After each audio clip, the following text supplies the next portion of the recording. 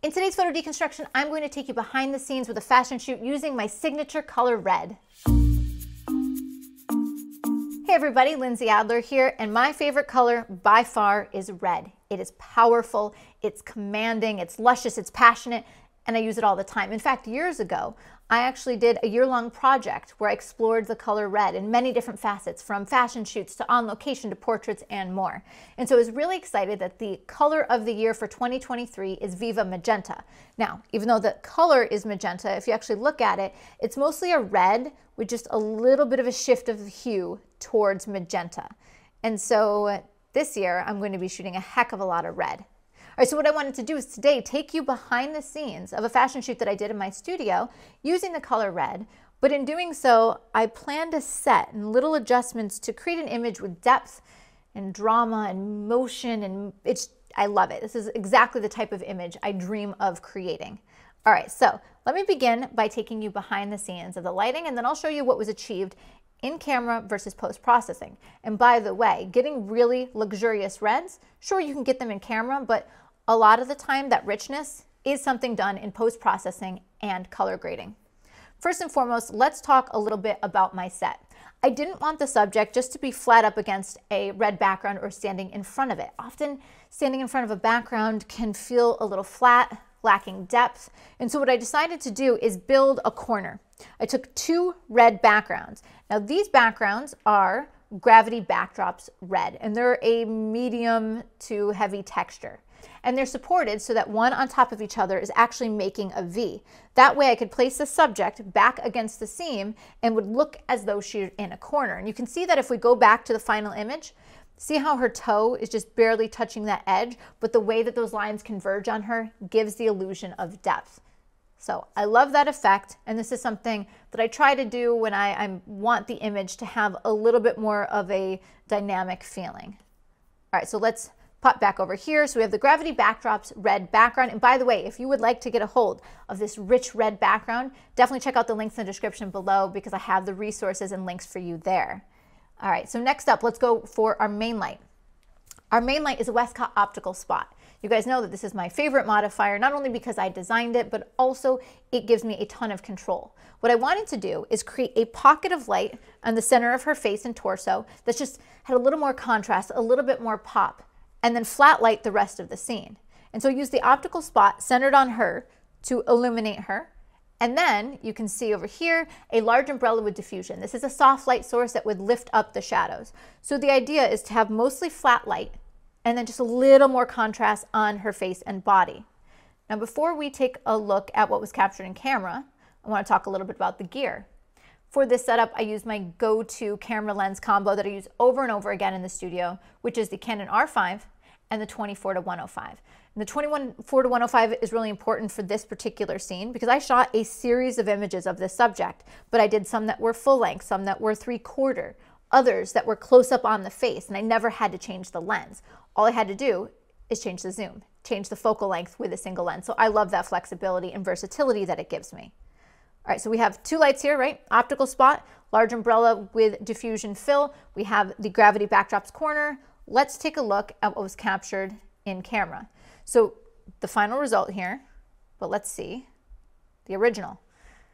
Okay, so the original looks quite a bit different. So there's a couple of reasons. Reason number one is I was shooting at a little bit too warm of a white balance, unfortunately. I wasn't paying attention and I was still on shade from another shot. And so everything is looking kind of yellow and it really was washing out the richness of the red. So I did need to change the white balance. That's one reason it looks different. Also, because of that, the skin was looking really yellow as well, and, and it was just too saturated. Because I wanted this image to be monochromatic, it means all the color that I want in the image is to pretty much be a variation on red. The red floor, the red dress, the red background, even red lips. And so I need to mostly eliminate the color of the skin if I truly want it to be monochromatic. So I knew that that was a change that would need to be made.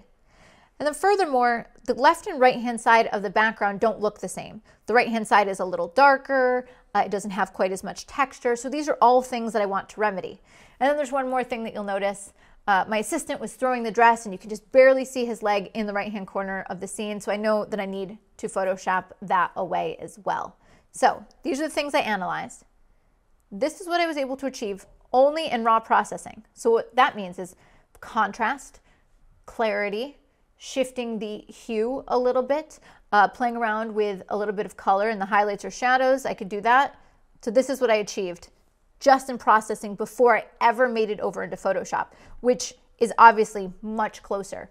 So you can see I lightened up the skin, I desaturated it, I added more contrast on the left, and I lightened up the right. So this is getting us much closer to where I wanted to be. All right, so let me show you the final retouch, and then we'll actually go over into Capture One so you can see what I processed.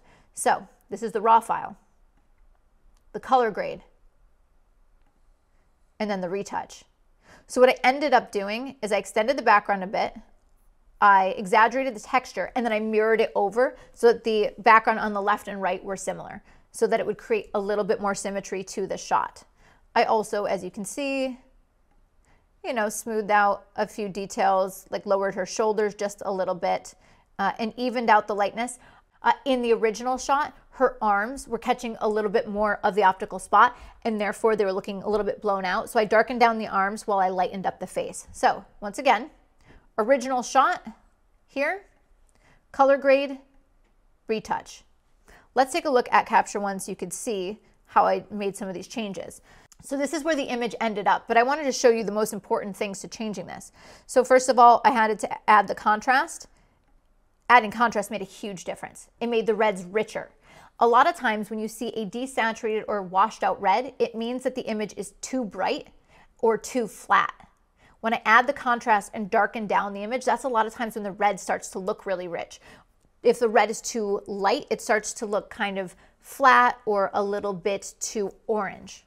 Similarly, if I pop down to the color editor, I can go into each individual color. So I could pick the yellow of the skin or the red of the background, and I can shift a couple of things. I can shift the hue, I can adjust the saturation and the lightness.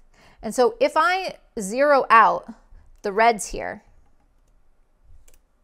you can see that they're looking a little bit perhaps too light and they're not looking as interesting. They're maybe a little too saturated. But I made little tweaks to even out the color of the background and the, the dress itself. Okay, so now what I'm going to do is pop over to the oranges. And I could tell that her skin originally was quite a bit of orange and yellow. So you'll notice here, I've made a pretty big change. I've desaturated the oranges a lot and I've lightened it up. So if I actually flatten this out, I go back to zero, once I added the contrast to her, the overall shot, her skin got really orange. So adjusting the oranges here made a huge difference in that porcelain look. So quite a lot was achieved with the color editor. Yes, I added contrast. Yes, I added a vignette, but this part, a part of the process really affected the color grade. So you can see how I went from the original image and was able to transform it in those steps. So let's go back over and look one more time original straight out of camera shot, final retouch look. So as you can see, my signature style is this beautiful, luxurious red. That red does depend on the set and the concept, the red of the lip and the dress in the background, but color grading and adjusting in post to really control and warp that color to be exactly what you want, well, that is just as important part of the process.